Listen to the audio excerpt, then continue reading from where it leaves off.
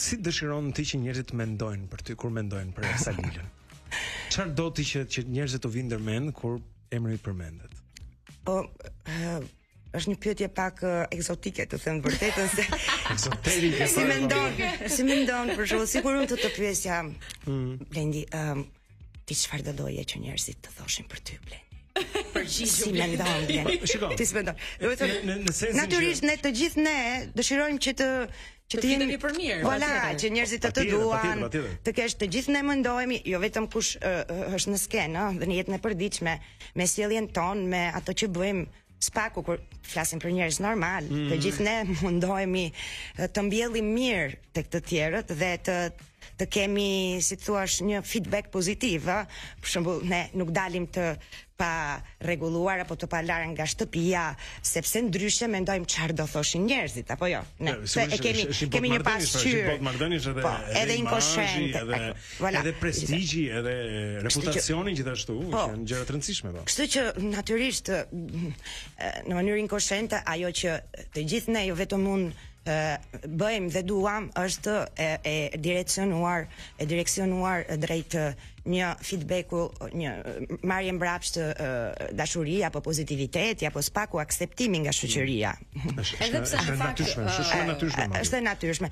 Por, por të pranohet. Por, ë të them të drejtën, më shumë shkoj me vitet dhe ë mendoj që tek e fundit jo të gjithë mund të të duan dhe jo të gjithë mund të të kuptojnë.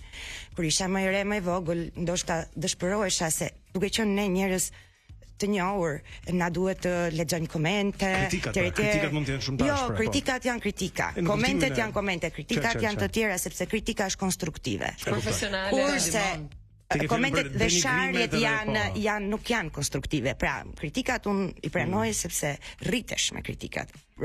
Anzi, përkundrazi, i dua kritikat. Po. Ndërsa këto gjëra të këto, si thua, komentet gratis, thjesht kështu për të shfryrë, si të thuash, uh, emocionet nga shtëpia përpara një tastiere, nuk i konceptoj dot, por duke u rritur i kam uh, ridimensionuar uh, të gjitha këto, uh, këto aspekte dhe tek e fundit nuk jetoj më për njerëzit, jetoj për veten time, për familjen time dhe uh, Mundohem të jem korrekte me shoqërinë, korrekte me familjen, korrekte me artin tim, korrekte me kolegët e mi dhe tjetrën nuk mund ta komandoj se çfarë mendon.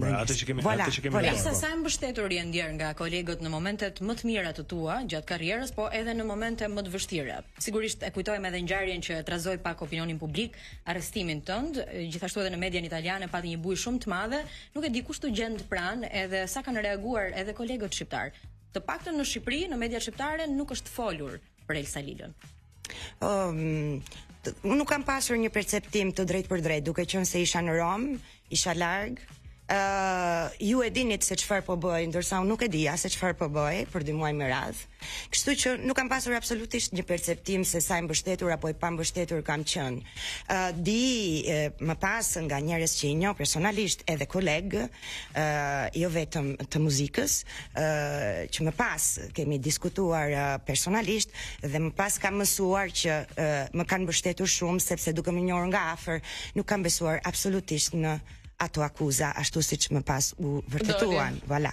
Kështu që nuk di të të them më shumë se sa raporti personal që unë kam pasur me ta më pas drejtpërdrejt. Po, Ka pasur shumë nga ta, por nuk di se sa shumë. Je më e fortë, je më e fortë pas asaj ngjarje. Pas gjithë. Të them të drejtën, falë Zotit, unë kam lindur e fortë. Kështu që besoj se ne ne ne fortifikohemi me eksperiencat e jetës.